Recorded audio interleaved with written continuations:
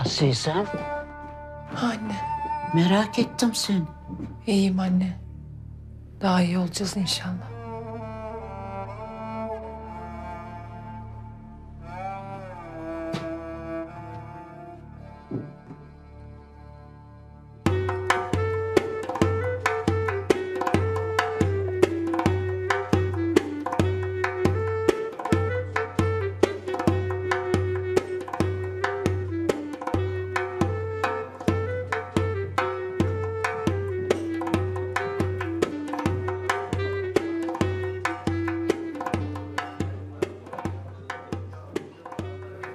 Yarın gece bir yemek varmış konakta. Heyet mi ne geliyormuş? Tam vakti. Yarın bitireceğiz bu işi. General Cevdet'i öldüreceğiz.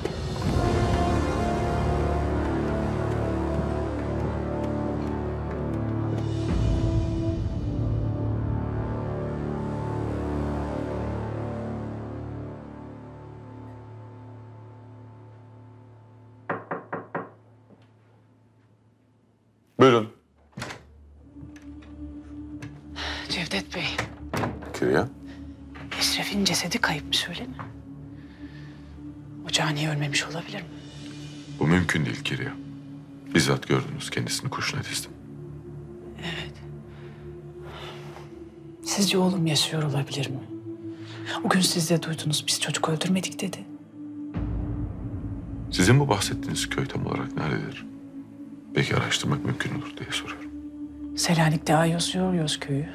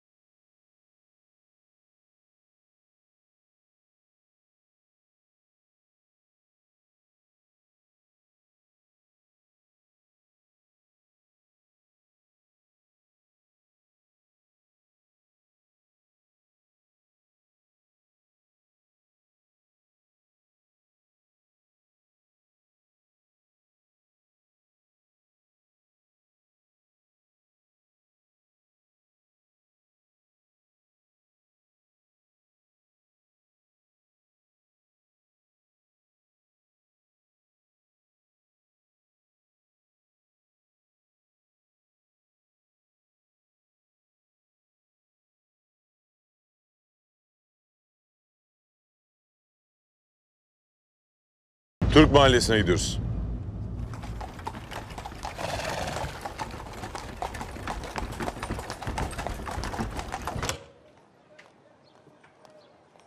Edebiyatın her daim kuvvetliydi Aziz Hanım. Senden yedi senede aldığım tek mektup. Ömrü hayatını alacağım da son mektup.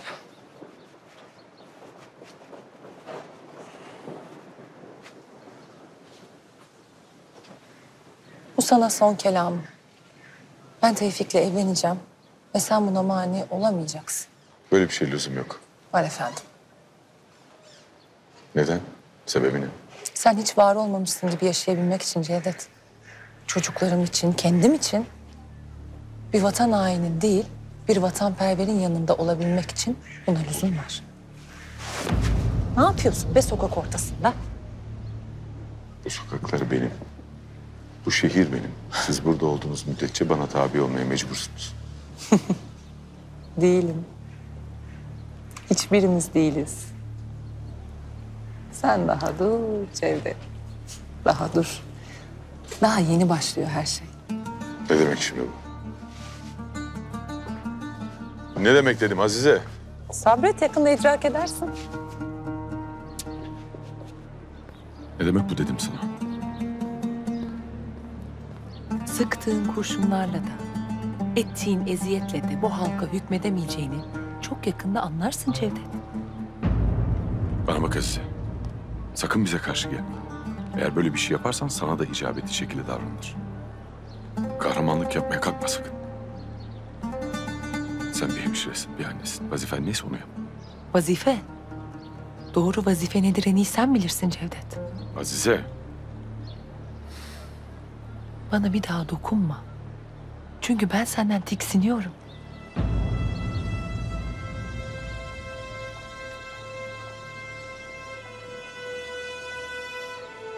Kanalımıza abone olarak tüm videolardan anında haberdar olabilirsiniz.